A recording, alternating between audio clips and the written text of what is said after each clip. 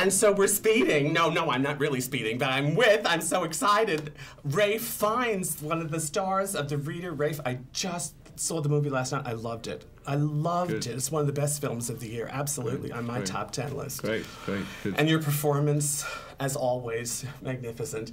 And playing somebody who's also, you know, represented by a younger actor. Yeah. How did you have to sort of coordinate based a little on him? bit, yeah. or- Stephen was very keen that we got Stephen to get- Daldry, the yeah, Stephen director. Daldry, who directed it, was very concerned that wanted us to watch each other's physicality, gestures, vocal inflections, and have a, a, a German accent that matched. So we did a bit, and then uh, I always had a sense of him in my head, and watched. Sometimes I would, had I had scenes of him and just watched, but I yeah we did some work on it. Yeah. It was because I totally, Mm-hmm. totally believe that you're one of our greatest actors, and you're flying back and forth between London and here you're Yeah. doing Oedipus in In- London. yeah, in London, yeah. You just flew in for the day, How and then go back and do Oedipus. I came in on s- m- uh, Monday.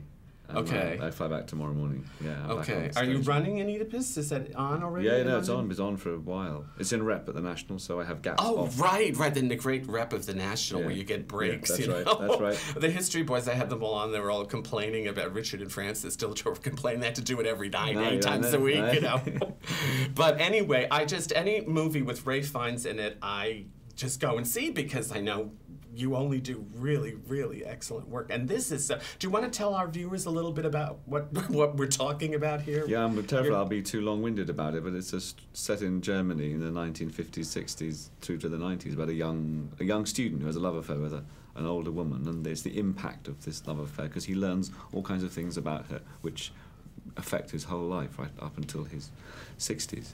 And he's a lawyer when a- we see you. You're Yeah. a lawyer. I play the older version of this character called Michael Berg, and a lot of the film focuses on his early love affair and his years as a law student and how he's dealing with this woman in his life and what she's done and who she is.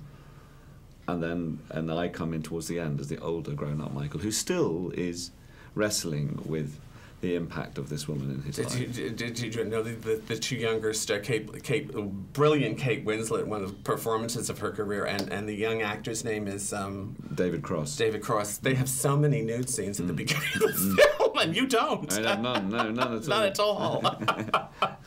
Did you know that, that that was coming up when they were going to do it like that? I was delightfully surprised. Well, I knew that was a big part of the mo- of the film, the story. It was it's a man's young man's sexual awakening. And how did Stephen Daldry, who just opened Billy Elliot to great success on Broadway, how did he do this at the same Well, time? Well, yeah, he had a lot of. I mean, are you going to talk to him?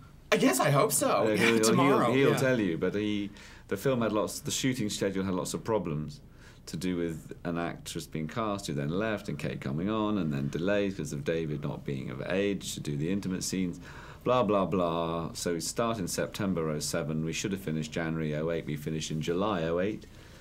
Stephen is slated to be in rehearsals with Billy Elliot, but now he's just finished shooting his film, so he's got to edit the reader and rehearse Billy Elliot at the same time. He's Superman. That's all there is to it. It's like reminding me of Bob Fosse when he won the year he won every award there was to win Tony's, Oscars, everything is coming up. One of the best films of the year. What a surprise. The reader, I am so thrilled to be talking to Ray Fiennes, one of our greatest actors today on stage or screen. Thank, you. so much, Ray. Thank you. Great to see you.